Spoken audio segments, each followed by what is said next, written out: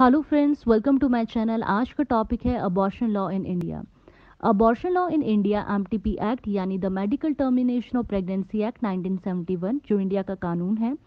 इसके हिसाब से मिसकैरेज ऑफ़ प्रेगनेंसी की अगर मैं बात करूँ I mean termination of pregnancy की अगर बात करें तो अगर माँ के गर्भ में अगर बच्चे की उम्र 20 वीक्स कंप्लीट हो चुके हैं या फिर ज़्यादा हो चुके हैं तो उस बच्चे के मदर या फादर या और कोई फैमिली के मेंबर उस बच्चे को टर्मिनेट नहीं कर सकते, उस बच्चे को ख़राब नहीं कर सकते हैं। ऐसा ये कानून है एमटीपी एक्ट 1971 सिर्फ़ तब ही कर सकते हैं जब section three medical termination of pregnancy act 1971 section three के कंप्लायंस में हो।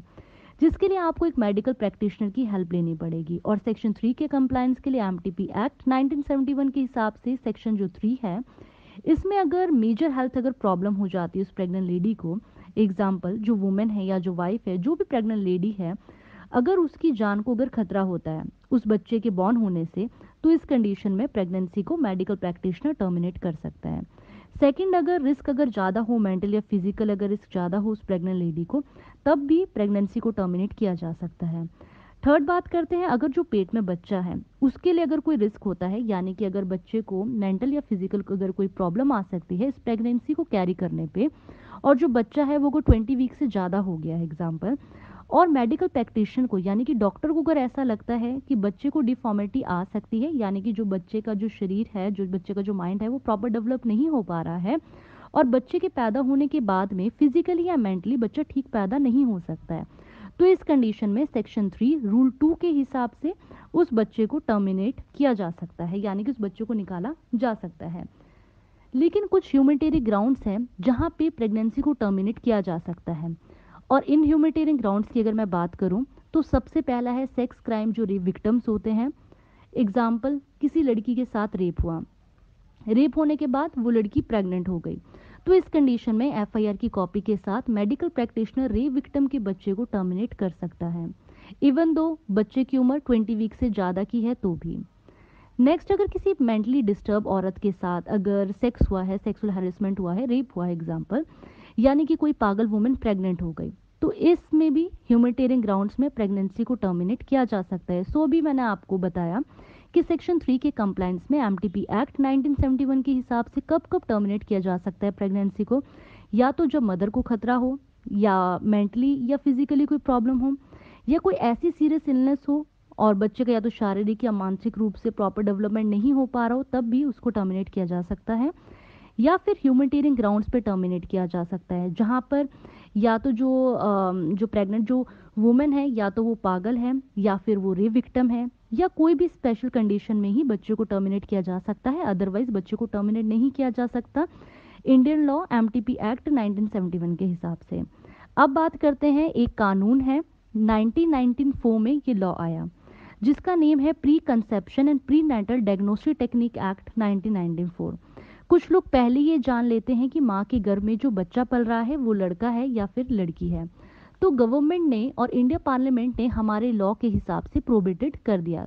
यानी कि आई मीन उस पर रोक लगा दी कि ये टेस्ट नहीं कर सकते सिर्फ़ ये जानने के लिए कि जो गर्भ में जो बच्चा है, यानी कि जो माँ के जो पेट में बच्चा है, वो लड़का है या फिर लड़की है।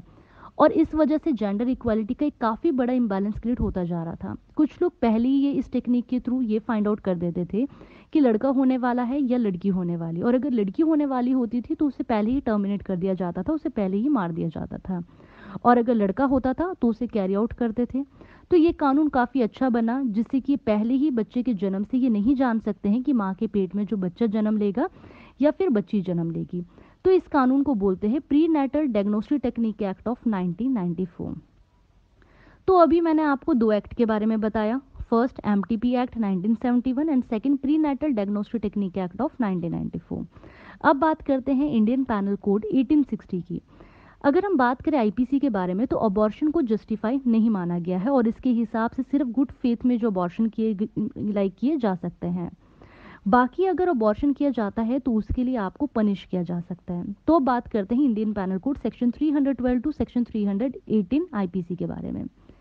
इंडियन पैनल कोड 1860 में चैप्टर 16 है ऑफेंसेस अगेंस्ट बॉडी के अंदर कवर होता है सेक्शन 299 से लेकर सेक्शन थ्री तक। उसी के अंदर एक टॉपिक है मिस कैरेज यानी कि आईपीसी सेक्शन 312 टू सेक्शन 318 तक ये कवर होता है। तो पहले बात करते हैं आईपीसी सेक्शन 312 के बारे में कि 312 सेक्शन क्या है। सेक्शन 312 में कंसेंट ऑफ़ वुमेन है, यानी कि जिस वुमेन के पेट में बेबी है और वो वुमेन चाहती है कि उस बच्चे को जान से मारना तो ऐसे केस में सेक्शन 312 अप्लाई होता है। बट इसके अंदर भी दो बातें आती है। पहला, अगर वुमेन अपने बेबी को खुद जान से मारना चाहती है, या तो किसी की हेल्प लेकर बच्चे को जान से मारती है। और वुमेन जो है वो प्रेग्नेंट है और वो ये चाहती है यहाँ कि उसकी यहाँ पे कंसेंट वर्ड इंपॉर्टेंट है कि वुमेन चाह, वो प्रेग्नेंट लेडी चाहती है अपने बच्चे को मारना। तो सेक्शन 312 अप्लाई होता है। लेकिन यहाँ पे दो बातें आती है और वो ये है कि जो बेबी है, वो क्विक बॉर्न नहीं है, या तो वो क्विक बॉर्न है। तो बात करते पहले वो बच्चा क्विक बॉर्न अगर नहीं है, यानी कि जो बेबी है, जो उसकी हेल्थ है, जो ग्रोथ है, या तो वो दो महीने, या तो फिर वो तीन महीने का बेबी है। तो ऐसे में जब वुमेन किसी की हेल्प से जब अपने बच्चे को मार देती है तो इसमें तीन साल तक की सज़ा और फाइन और बोथ हो सकता है। नेक्स्ट सेम कंडीशन में अगर वुमेन अपने बच्चे को मारना चाहती है लेकिन जो बच्चे की जो ग्रोथ है, वो क्विक बॉर्न है। यानी कि जो उसका बच्चा है, वो हो सकता है कुछ टाइम में। सेवन मंथ्स का बच्चा या एट मंथ के नाइन मंथ का उसके पेट में बच्चा है। और अगर वो वुमेन अपने बच्चे को मार देती है तो ऐसे केस में सेक्शन 312 अप्लाई होगा। और इसमें जो सज़ा होगी, वो सात साल तक की सज़ा एंड फाइन होगा। नेक्स्ट सेक्शन की बात करते हैं इंडियन पैनल कोड सेक्शन 313 की, यानी कि सेक्शन 313 के बारे में। यहाँ पे वुमेन की कंसेंट नहीं है। सेक्शन 312 में कंसेंट थी, वहाँ पे प्रेग्नेंट वुमेन चाहती थी अपने बच्चे को मारना, लेकिन सेक्शन 313 में यहाँ पे वुमेन नहीं चाहती अपने बच्चे को मारना, यानी कि विदाउट कंसेंट ऑफ़ वुमेन इसमें जो प्रेग्नेंट वुमेन है, वो नहीं चाहती कि उसके बच्चे की डेथ हो। लेकिन अगर कोई उसके बच्चे को मार देता है, चाहे बच्चा क्विक बॉर्न है, चाहे बच्चा क्विक बॉर्न नहीं है कोई मेडिसिन देकर या कुछ भी ऐसा कुछ करता है, कुछ ऐसा एक्ट करता है कि जिससे कि उस प्रेग्नेंट लेडी का जो बच्चा है वो मर जाता है। तो ऐसे में उस पर्सन पे Indian penal code section 313 apply होगा और इसकी जो सज़ा की अगर मैं बात करूँ तो लाइफ इम्प्रिजमेंट और 10 साल तक की सज़ा एंड फाइन होगा। अगले सेक्शन की बात करते हैं सेक्शन 314 के बारे में। सेक्शन 314 आईपीसी की अगर मैं बात करूँ तो ये डिफाइन करता है, इस सेक्शन के अंदर दो बातें आती है। इस सेक्शन में कंसेंट है भी और नहीं भी। यानी कि with consent and without consent कि वुमेन चाहती है कि उसके जो वॉम में जो बच्चा है, वो मर जाए, या फिर वो वुमेन नहीं चाहती कि जो उसके जो पेट में बच्चा है, वो मर जाए। तो पहले बात करते हैं विद कंसेंट की, कि यहाँ पे वुमेन पहले चाहती है एग्ज़ाम्पल कि उसका जो बच्चा है, वो मर जाए। तो पहले कंसेंट की बात करते हैं कि जहाँ वो प्रेग्नेंट औरत चाहती है कि जो उसका बेबी है, वो मर जाए, उसने किसी की हेल्प ली फॉर एग्ज़ाम्पल उसने हेल्प ली और उसमें उस वुमेन की भी डेथ हो गई। और उसके जो वॉम में जो बच्चा था, उसकी भी डेथ हो जाती है। तो ऐसे केस में सेक्शन 314 अप्लाई होता है। इसमें सज़ा की अगर मैं बात करूँ तो 10 साल तक की सज़ा एंड फाइन होगा। इसमें दोनों की डेथ हो रही है, बच्चे की भी और उस प्रेग्नेंट लेडी की भी। तो इसमें क्या था, जो वुमेन यहाँ पे वुमेन की कंसेंट थी कि वुमेन यहाँ पे चाहती थी कि जो उसका जो बेबी है वो मर जाए। लेकिन क्या होता है बेबी की भी इसमें डेथ हो जाती है और उस वुमेन की भी यहाँ पे डेथ हो जाती है। तो बात करें ये जो सज़ा है, ये किसको होगी? तो जिसने ये एक्ट कमिट किया है, उसको सज़ा होगी। सेकंड इसमें आता है विदाउट कंसेंट जैसे मैंने आपको बताया, दो बातें आती है कंसेंट और विदाउट कंसेंट तो अब बात करते हैं विदाउट कंसेंट ऑफ़ वुमेन की। इसमें जो वुमेन है, जो प्रेग्नेंट लेडी है, वो नहीं चाहती कि अपने बच्चे को मारना। और ऐसे में किसी पर्सन ने उसे कोई मेडिसिन दे दी, या कोई ऐसे सर्कमस्टांसिस किए जिससे कि जो वुमेन और चाइल्ड जो था, उन दोनों की डेथ हो जाती है। तो ऐसे में क्या होगा? यहाँ पे लाइफ इम्प्रिजमेंट और 10 साल तक की सज़ा एंड फाइन होगा।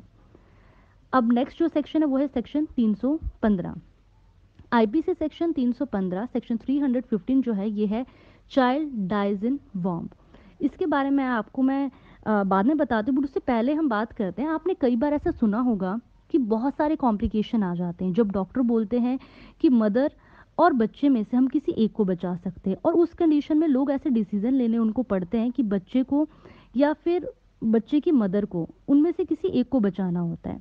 तो क्या ऐसे कंडीशन में, ऐसे डिसीज़न अगर हमें किसी को अगर लेने हो तो क्या ऐसा डिसीज़न लेना क्या क्राइम होगा?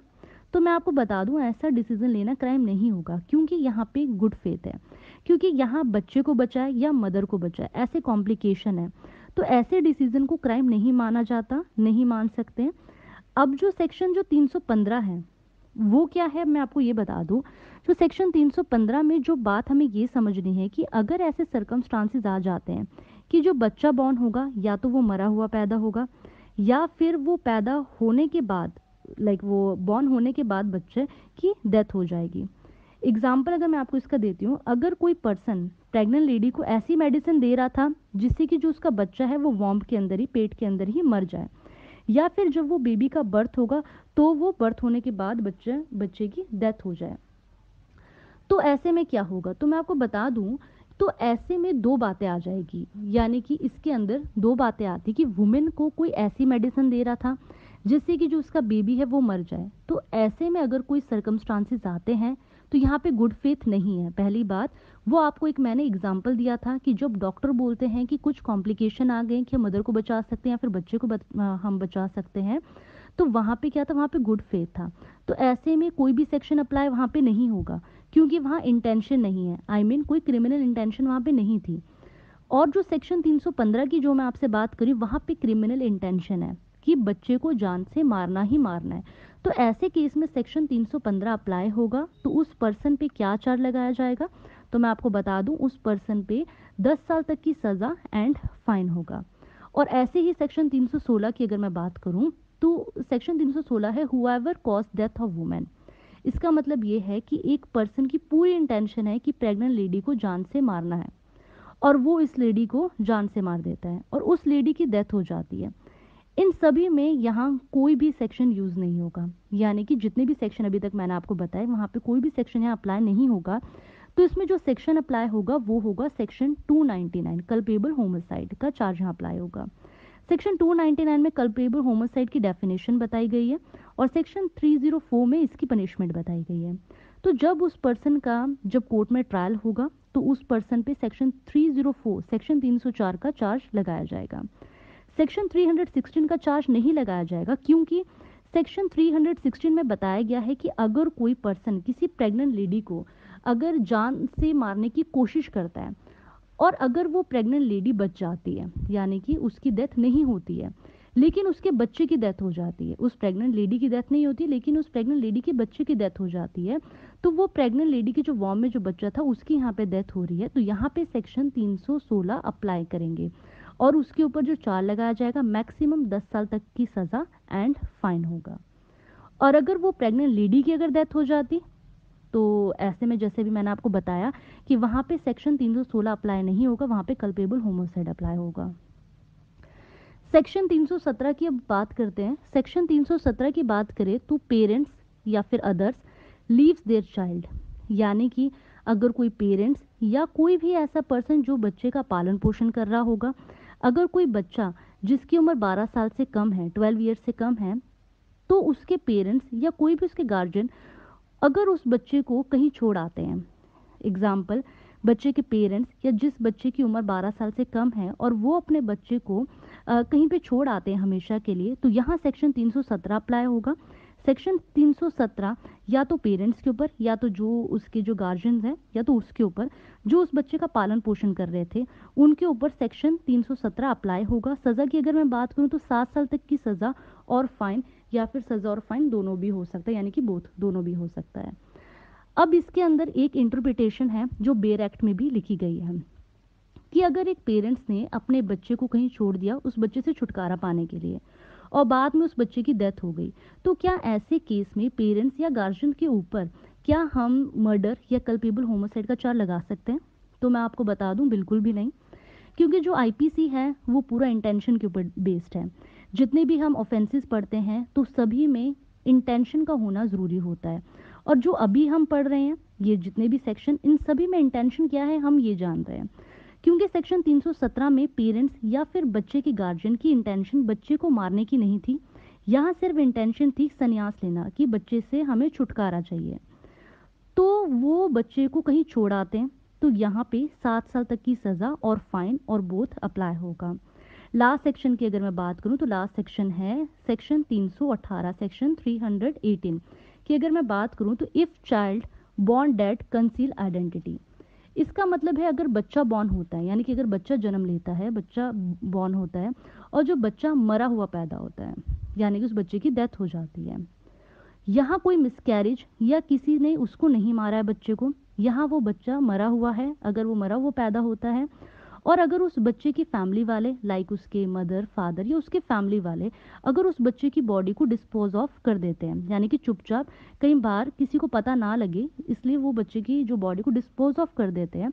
और अगर उस बच्चे की जो आइडेंटिटी है, को अगर वो छुपाते हैं तो यहाँ पे सेक्शन 318 अप्लाई होगा। उन पेरेंट्स के ऊपर और उन फैमिली मेंबर्स के ऊपर ये चार्ज लगाया जाएगा। इसमें सज़ा की अगर मैं बात करूँ तो दो साल तक की सज़ा और फाइन या फिर बोथ या फिर बोथ भी अप्लाई हो सकता है या, यानी कि सज़ा भी और फाइन भी देना पड़ सकता है। तो आज की सिर्फ़ इस वीडियो में इतना ही। आज मैंने आपको बताया है कि आईपीसी सेक्शन 312 से लेकर 318 सेक्शन क्या है और एमटीपी एक्ट 1971 क्या है और prenatal diagnostic technique act of 1994 क्या है। और इन सभी सेक्शन को जानकर आपको एक कॉमन बात समझ आई होगी कि मिसकैरेज का एग्जैक्ट जो मीनिंग क्या होता है लीगल टर्म्स के अंदर जो हमने आज इंडियन पैनल कोड में बताया है। सेक्शन 312 से लेकर सेक्शन 318 तक। तो आज की सिर्फ़ इस वीडियो में सिर्फ़ इतना ही। अगर आपको वीडियो अच्छी लगी हो तो आप लाइक कर सकते हैं, अपने डाउट ऑफ़ कमेंट सेक्शन में पूछ सकते हैं। और अगर अभी तक आपने मेरे चैनल को सब्सक्राइब नहीं किया तो प्लीज़ आप मेरे चैनल को सब्सक्राइब कर दें। So thank you so much